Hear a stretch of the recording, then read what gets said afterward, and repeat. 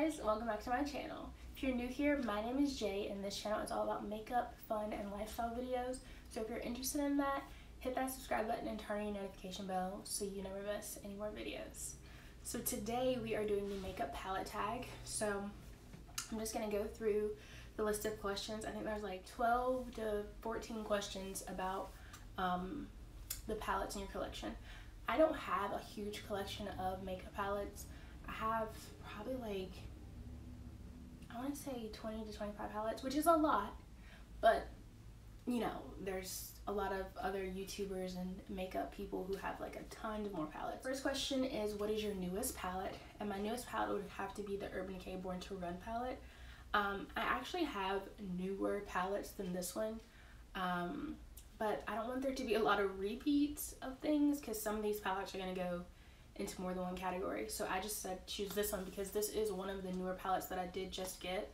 And I did do a video using this palette. So if you want to see that look, I will link that down below. But this palette is so pretty. The color sorting here is just so nice. And it's perfect for everybody to use because there's neutrals in here. There's pops of colors. There's colors where you can do smoky eyes with. Like this palette is just great for a wide variety of people. The only downside I have for this palette is it does have quite a bit of fallout everywhere and all under your eyes and it's just, it's a hot mess. So if you're somebody who's really particular about fallout and you just, you're not interested in it, you might want to pass on this palette. It is a good palette, but that's just one downside that I noticed and I'm not too crazy about fallout, but um, this does have a lot. Next question is your oldest palette and it would have to be this little guy right here. This palette is so old. I'm not exactly sure when ColourPop even came out with like the pressed single shadows. So these are very, very old and these are like some of the first ones they came out with. Like as soon as they came out with single pressed shadows, I was on it to have them. So a lot of these are from when they first came out with shadows. I just, I will never get rid of this palette because this is the first palette like my first real palette, you know, like real eyeshadows, and then I picked these all out myself. So this is just very nostalgic for me. Very old. I'm sure eyeshadows expire at some point, but I just, that palette is just so, I love it. Okay, so the next one is your most expensive palette. Now, you guys know me, I'm a drugstore girl. I love drugstore because I just feel like Milani and NYX and e.l.f. can give me the same kind of look that Charlotte Tilbury and YSL and Givenchy can give me. So I don't tend to splurge a lot, but with this particular brand, I just I just really wanted something from this brand. And during Christmas, I want to say last year, but it might be the year before last, Pat McGrath came out with a set. Um, and I got it on Sephora, and it was like I want to say $30, $35 for like a mini eyeshadow palette, a mini of her fetish mascara, which is bomb.com, and um, like a pressed pigment. And that's the only thing I ever owned from Pat McGrath. But I saw her mothership palettes that she always come out with, and I've always thought they were beautiful and like they were so cool and innovative. Well, then a little while ago, I was actually browsing on Sephora, um, and I happened to see the Mothership 5 palette, and I was like, wait, I kind of like that though, but it's $125. And so I was just like, I'm not, I'm not gonna do it. Well, um, I went on Pat McGrath website. I ended up seeing the Mothership 5 palette and I just, I needed it. Like this palette is so beautiful and I feel like this is the perfect fall and wintertime palette. This color right here, honestly this whole little section right here is screaming Christmas to me. So you definitely will see some looks with this palette. I had to use this. This palette is so beautiful. And yes, it is very, very, very expensive.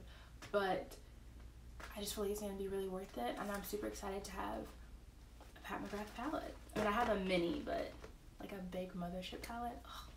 The Celestial one that she also just recently came out with is really nice. And it's only $78.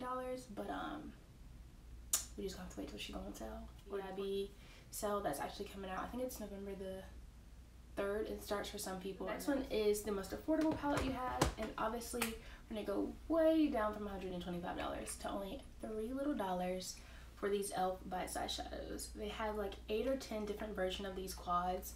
They are so good. The pigmentation of them is incredible. And it's only $3. Like, why would you not... You, I mean, really, if you don't own these by this point, you're just missing out. I've done an entire video dedicated to a lot of the new e.l.f. products they came out with. And I did an entire video dedicated to another one of these bite-sized eyeshadows because they're just so good. So you should definitely give them a try. The next one is your Everyday Palette. And recently my Everyday Palette has become the Too Faced Born This Way, the Natural Nudes palette. This is just the perfect palette. Like the color story in here is literally me in a palette. I'm obsessed with the colors. I'm obsessed with the way these perform, the pigmentation. It's just, ugh, you can do so many things with this palette. And I feel like this is a really good travel palette because you have all these different colors. You have shimmers, a lot of stuff to play around with, and a lot of different looks that you can make from them. And the mirror is nice and big. So this is definitely my go-to palette. The next one is your most colorful palette. And this is also from ColourPop. This is limited edition, like this palette packaging and then the colors you get in here. I do think you can still get the colors or the single shadows on their own. You just won't get it in this packaging because this came out like last summer. But this is what the colors look like. This palette is so beautiful. It literally has any kind of color you could think of. Got some shimmers, some glitters. Like, I just love this palette so much. The next one is your smallest palette, which again would be my e.l.f. Bite Size Shadows. And then it also says your largest palette, which would be between these two. Because this is the largest, like, in size, I guess. But this is large because it has the most amount of colors, or the most amount of shadows in it. Next question asks for the palette with the best memory, and for me, that would be the Too Faced Gingerbread Extra Spicy palette. This palette is so random to be my best memory, but this is what got me started buying high-end palettes because this was the first high-end palette that I ever bought, and this came out last year around this time, the version 2 like two years, a year before this one came out, they had another one that was just the gingerbread palette and um, people were saying that if you own that one you really didn't need this one which is very true for a lot of the Too Faced palettes like this. Um, they all really look the same to me. Like even the pumpkin spice one that just came out it's very similar to this one. Like there's a few colors that are different but they're pretty much producing the same palette. So I feel like if you have the gingerbread one or this one you don't need the new pumpkin spice one unless you just really want it. Um, like these are more like collector's items but I just thought that this palette was so cute and I had to get it. And it was the first high-end palette that I ever bought. And I was super excited to have this palette because I had never owned a palette from Too Faced and I just thought, you know, I'm so grateful to be able to afford things like this, like little luxuries, things that aren't unnecessary to have in life was just like a little big girl milestone for me. And I know that sounds really crazy because it's just an eyeshadow palette, but I will never let this palette go because it's limited edition. The packaging is really cute, but this was the first uh, high-end palette I ever owned. So the next one is the palette that's worth the hype. And that for me is the Amrezy and Anastasia palette. This palette, first off, the outside of this is really pretty. And I don't even like glitter. Palette is very Amrezy. And then the colors in here are just so beautiful. Like I love this. Anastasia to me is very similar to Too Faced in the fact that a lot of their palettes like this all seem to look really similar. Like there's a few that they change up the colors and they kind of look different and eye-catching, but most of them look really similar. So this is one of the few. This one and the Jackie Aina palette are the only two that like really stood out to me from the other ones. Like their palettes are pretty, don't get me wrong, but they just use a lot of the similar colors like Too Faced does. So this palette, I just, ugh, it was definitely worth the hype. The pigmentation and the way these perform is phenomenal. The shimmers and the glitters in here are beautiful. The mattes are great. You get all kinds of pops of colors. You have those dark smoky colors. You got warm tones. So I just, I love this palette so much and it was definitely worth the money. Also, another little pro tip, only two high-end palettes in this little array that I'm showing you guys today that I actually paid full price from. I always look for discount codes and sales like on the actual website or I wait during the Sephora sales or on Ulta because I'm all about trying to save your coin. Like the Pat McGrath one I told you guys about, I went through the Pat McGrath website because Sephora had it for regular price, but Pat had a little discount. Next one says palette, the palette that is not worth the hype. And for me, I just don't think it's the palette. I also think it's the brand. And I don't want to come off shady or rude, but um, the brand I'm talking about is Violet Voss. I actually own three Violet Voss palettes. I'm going to show you the other one in a little bit, but two out of the three of the palettes that I own are not good. I bought the Violet Voss Vibes palette because it was just so pretty. I needed another colorful palette, and this one is different than the ColourPop one because this one is more neon colors and just really wow and out there. Just really pretty colors, and I thought these would look really great like for doing Halloween looks and things. But when you swatch them on your hand, the colors look so nice and so pigmented.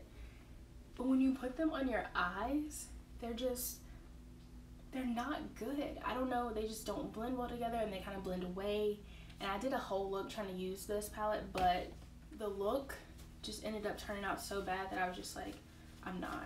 I'm not I'm not gonna post I keep saying I'm gonna use it again because it's a really pretty palette and maybe I was just having a bad day.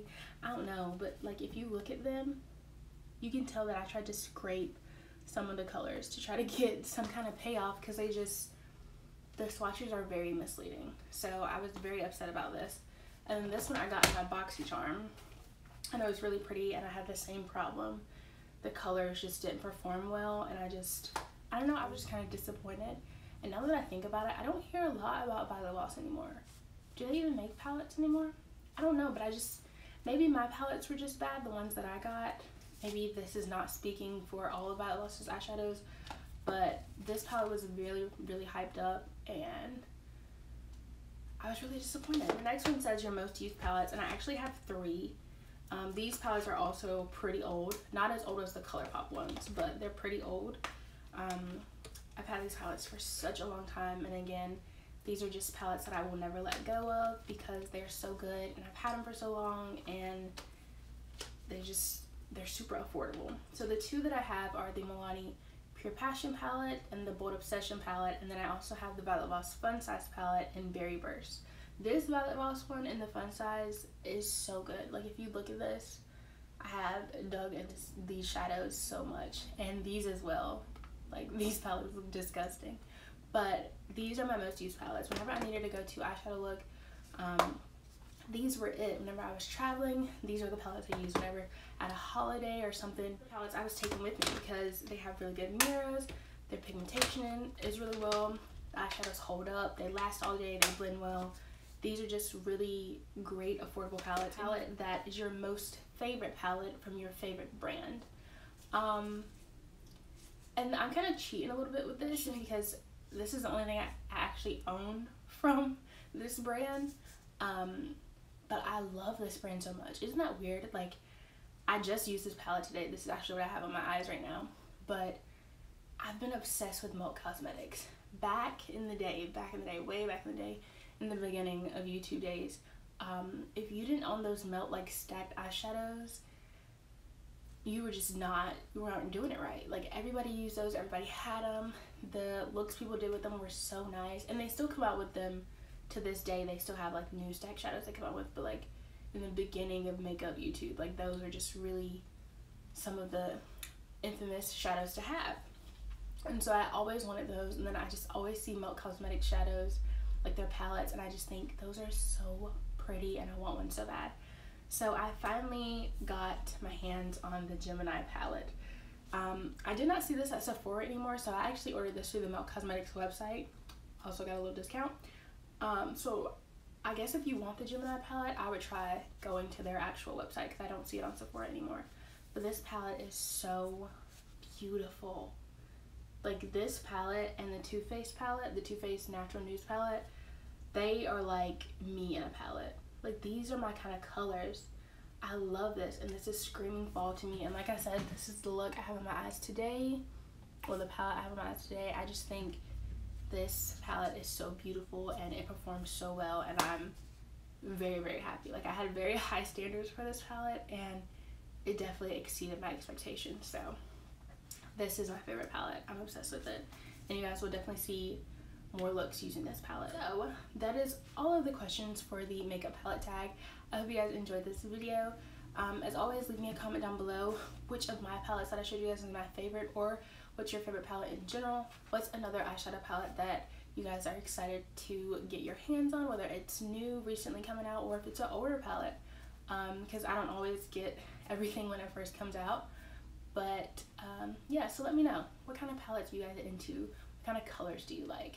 As always, don't forget to subscribe and turn on your notification bell so you never miss a video.